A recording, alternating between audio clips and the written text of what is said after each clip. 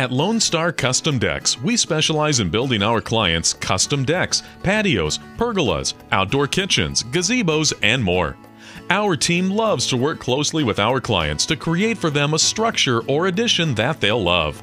We work quickly and efficiently so you can have that something special added to your home in no time.